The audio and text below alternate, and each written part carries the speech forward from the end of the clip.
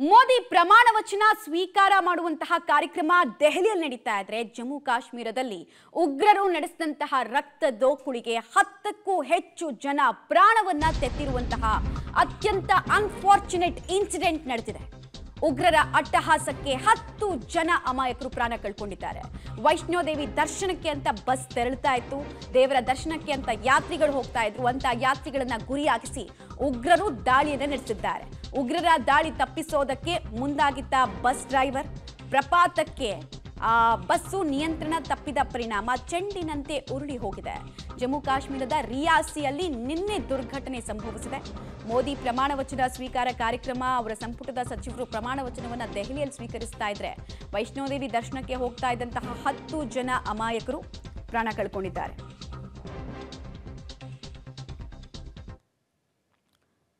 ಈ ದುರಂತದಲ್ಲಿ ಸಾವನ್ನಪ್ಪಿದವರ ಸಂಖ್ಯೆ ಬಗ್ಗೆ ಈಗಷ್ಟೇ ನಾವು ಉಲ್ಲೇಖಿಸ್ತಾ ಇದ್ವಿ. ಹತ್ತು ಜನ ಪ್ರಾಣ ಕಳ್ಕೊಂಡಿದ್ದಾರೆ. ಅದರಲ್ಲಿ ಮಕ್ಕಳು ಕೂಡ ಇದ್ದಾರೆ. ಅವರ ದೇಹದ ಭಾಗಗಳು ತುಂಡು ತುಂಡಾಗಿ ಬಿದ್ದಿರೋದು ನೋಡ್ತಾ ಇದ್ರೆ ನಿಜಕ್ಕೂ ಮನ ಕಲಕತ್ತೆ.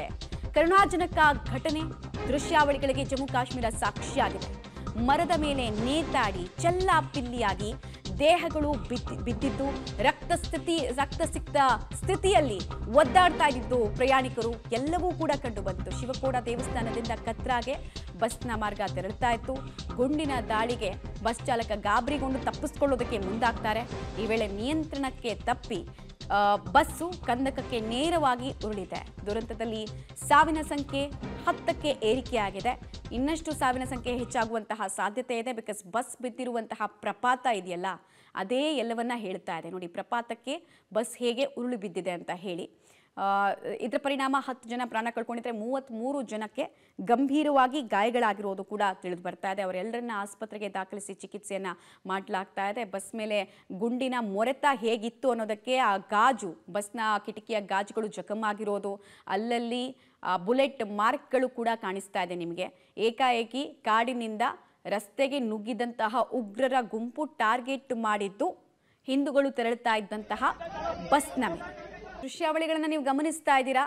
ಬಸ್ಸು ಪ್ರಪಾತಕ್ಕೆ ಬಿದ್ದ ಪರಿಣಾಮ ಯಾವ ಪ್ರಮಾಣದಲ್ಲಿ ಹಾನಿಗೆ ಒಳಗಾಗಿದೆ ಅಂತ ಸಂಪೂರ್ಣ ಬಸ್ಸೇ ಜಖಮ್ಗೊಂಡಿದೆ ಹತ್ತು ಜನ ಈ ಆಕ್ಸಿಡೆಂಟ್ನ ತೀವ್ರತೆ ಅಥವಾ ಅಪ ಅವಘಡದ ತೀವ್ರತೆ ಇದೆಯಲ್ಲ ಬಸ್ಸು ಕಂದಕಕ್ಕೆ ಬಿದ್ದಾಗ ಅವಘಡ ಆಯ್ತಲ್ಲ, ಅವಘಡದ ತೀವ್ರತೆಗೆ ಹತ್ತು ಜನ ಪ್ರಾಣ ಕಳ್ಕೊಂಡಿದ್ರೆ ಗಾಯಾಳುಗಳನ್ನು ಆಸ್ಪತ್ರೆಗೆ ಸಾಗಿಸೋದಕ್ಕೆ ಅಂತ ಹೇಳಿ ಸ್ಥಳೀಯರು ನೆರವಾಗ್ತಾ ಇರುವಂತಹ ದೃಶ್ಯ ಮನಕಲುಕುವಂತಿದೆ. ಹಲವರ ದೇಹದ ಮೇಲೆ ರಕ್ತಸ್ತಿಕ್ತ ಛಾಯೆ ಕೂಡ ಕಾಣಿಸ್ತು. ಇನ್ಫ್ಯಾಕ್ಟ್ ಭಾಳ ಬ್ಲಡ್ ಲಾಸ್ನಿಂದ ಸಫರ್ ಆಗ್ತಾ ಇದ್ದಿದ್ದು ಕೂಡ ಕಾಣಿಸ್ತು. ನೋಡಿ, ಪುಟ್ ಪುಟ್ ಮಕ್ಕಳು ಫೋಟೋ ಎಲ್ಲೋ ಅಲ್ಲೆಲ್ಲೋ ರಫಾದಲ್ಲಾಯಿತು, ಗಾಜಾದಲ್ಲಾಯಿತು ಅಂತ ದೊಡ್ಡ ದೊಡ್ಡ ಕತೆ ಕವನಗಳನ್ನು ಬರೆಯೋರ ಕಣ್ಣು ಇಲ್ಲಿ ಬೀಳ್ತಾ ಇಲ್ವಾ?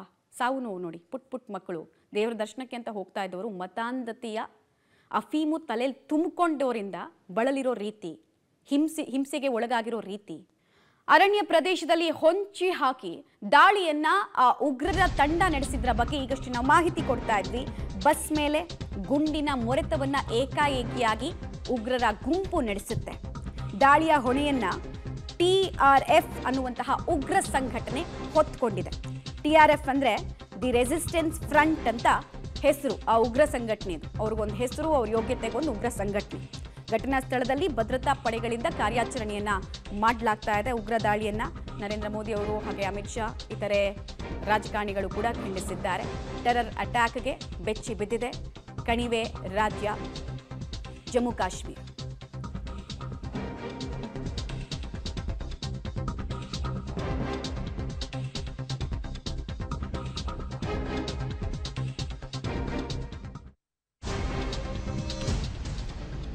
ದಾಳಿಯ ಹೊಣೆಯನ್ನ ಟಿಆರ್ಎಫ್ ಅನ್ನುವಂತಹ ಉಗ್ರ ಸಂಘಟನೆ ಹೊತ್ಕೊಂಡಿದೆ. ನಾವೇ ಇಂಥ ಕೆಲಸ ಮಾಡಿದ್ದು, ಇಂತಹ ಮತಾಂಧತೆಯ ಕೆಲಸ ಮಾಡಿದ್ ನಾವೇ ಅಂತ ಇವ್ರು ಹೇಳ್ತಾ ಇದ್ದಾರೆ. ಅರಣ್ಯ ಪ್ರದೇಶದಲ್ಲಿ ಹೊಂಚು ಹಾಕಿ ದಾಳಿ ಮಾಡಿದ್ರ ಬಗ್ಗೆ ಕೂಡ ಮಾಹಿತಿ ಇದೆ. ಉಗ್ರರ ಮೇಲೆ ನಿಗಾ ಇಡೋ ಕೆಲಸವನ್ನ ಡ್ರೋನ್ ಮೂಲಕ ಕೂಡ ಸೇನೆಯವರು ಮಾಡ್ತಾ ಇದ್ದಾರೆ. ಉಗ್ರರನ್ನ ಸದೆ ಬಡಿಯೋ ಕೆಲಸವನ್ನ ಕೂಡ ಸೇನಾ ಕಾರ್ಯಾಚರಣೆಯ ಮೂಲಕ ಮಾಡ್ತಾ ಇದ್ದಾರೆ. ಬಟ್, ಜಮ್ಮು ಕಾಶ್ಮೀರ ಮತ್ತೊಮ್ಮೆ, ಪುಲ್ವಾಮಾ ಅಟ್ಯಾಕ್ ನಂತರ ನೋಡಿದಂತಹ ಭೀಕರ ಅಟ್ಯಾಕ್ಗಳಲ್ಲಿ ಈ ಯಾತ್ರಿಕರ ಮೇಲೆ ನಡೆದಂತಹ ಅಟ್ಯಾಕ್ ಕೂಡ ಇದೆ. ಆಮೇಲೆ ಹಾಗೆ ನೋಡಕ್ ಹೋದ್ರೆ ವೈಷ್ಣೋದೇವಿ ಯಾತ್ರೆಗೆ ತೆರಳ್ತಾರಲ್ಲ ಅವ್ರೆಲ್ರಿಗೂ ಯಾವಾಗಲೂ ಥ್ರೆಟ್ ಇದ್ದೇ ಇರುತ್ತೆ. ಡೀಟೇಲ್ಸ್ ಕೊಡ್ತಾರೆ. ಶಬೀರ್ ನೇರ ಸಂಪರ್ಕದಲ್ಲಿ ಜಾಯ್ನ್ ಆಗ್ತಾರೆ. ಶಬೀರ್ ಈಗ ತನಿಖೆ ಹೇಗೆ ಸಾಗ್ತಾ ಇದೆ? ಟಿ ಆರ್ ಎಫ್ ಸಂಘಟನೆಯ ಹಿನ್ನೆಲೆ ಏನು? ಜೊತೆಗೆ ಉಗ್ರರನ್ನ ಸದೆ ಬಡಿಯೋ ಕೆಲಸವನ್ನ ಸೇನೆ ಯಾವ ಮೂಲಕ ಕಾರ್ಯಾಚರಣೆ ಮೂಲಕ ನಡೆಸ್ತಾ ಇದೆ ಅಂತ.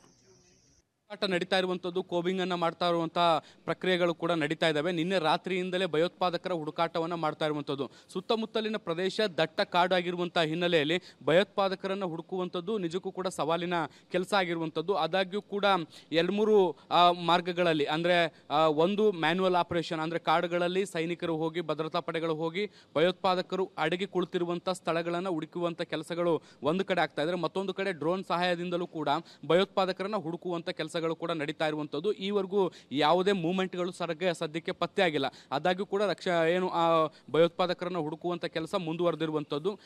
ಅವರನ್ನು ಬಹುತೇಕ ಸಂಜೆ ಒಳಗಡೆ ಪತ್ತೆ ಹಚ್ಚಿ ಅಲ್ಲಲ್ಲೇ ಅವ್ರನ್ನ ಹತ್ಯೆ ಮಾಡುವಂಥ ಸಾಧ್ಯತೆಗಳನ್ನು ಕೂಡ ನಾವು ನಿರೀಕ್ಷೆ ಮಾಡ್ಬೋದು. ಯಾಕೆ ಅಂದರೆ ಅವರು ಭಾಳ ದೂರ ಎಲ್ಲೂ ಹೋಗಿರ್ಲಿಕ್ಕೆ ಸಾಧ್ಯ ಇಲ್ಲ. ಅದೇ ಕಾರ್ಡ್ನಲ್ಲಿ ಎಲ್ಲಾದರೂ ತಲೆಮರೆಸ್ಕೊಂಡಿರುವಂಥ ಸಾಧ್ಯತೆಗಳು ಕೂಡ ಇರ್ತವೆ. ಹೀಗಾಗಿ ಆ ಒಂದು ಕನ್ಫರ್ಮೇಷನ್ ಮೇಲೆ ಈಗ ಅವ್ರನ್ನ ಹುಡುಕಾಡು ಹುಡುಕಾಡುವಂಥ ಕೆಲಸವನ್ನು ಕೂಡ ಸದ್ಯಕ್ಕೆ ಭದ್ರತಾ ಪಡೆಗಳು ಮಾಡ್ತಾ ಇರುವಂಥದ್ದು. ಮುಖ್ಯವಾಗಿ ಈ ದಾಳಿಯನ್ನು ನಡೆಸಿರುವಂತಹ ಸಂಘಟನೆ ಏನಿದೆ, ಇದು ಈ ಹಿಂದೆಯೂ ಕೂಡ ಬೇರೆ ಬೇರೆ ಸಂಘಟನೆಯಲ್ಲಿ ತೊಡಗಿಸ್ಕೊಂಡಿತ್ತು. ಮತ್ತು ಕಾಶ್ಮೀರದಲ್ಲಿರುವಂತಹ ಕೆಲವೊಂದಿಷ್ಟು ಯುವಕರನ್ನ ಈ ಒಂದು ಕೃತ್ಯಕ್ಕೆ ಬಳಸ್ಕೊಂಡಿದೆ ಅನ್ನುವಂಥ ಮಾಹಿತಿಗಳು ಕೂಡ ಬರ್ತಾ ಇರುವಂಥದ್ದು. ಆದರೆ ಪೂರ್ಣವಾದಂಥ ತನಿಖೆ ಆದ ಬಳಿಕ ಅಥವಾ ಒಂದು ಯಾರಾದರೂ ಈ ಭಯೋತ್ಪಾದನೆ ಚಟುವಟಿಕೆಯಲ್ಲಿದ್ದಂಥ ಆರೋಪಿಗಳು ಪತ್ತೆ ಆದ ಬಳಿಕ ಇದಕ್ಕೆ ಸಂಬಂಧಪಟ್ಟಂಥ ಇನ್ನಷ್ಟು ಮಾಹಿತಿಗಳನ್ನು ಕೂಡ ನಾವು ನಿರೀಕ್ಷೆ ಮಾಡ್ಬೋದು. ಆದರೆ ನಿರಂತರವಾಗಿ ಬೇರೆ ಬೇರೆ ರೀತಿಯಾದಂಥ ಚಟುವಟಿಕೆಗಳಲ್ಲಿ ಇದು ಕಾಶ್ಮೀರದಲ್ಲಿ ತೊಡಗಿಸಿಕೊಂಡಿತ್ತು.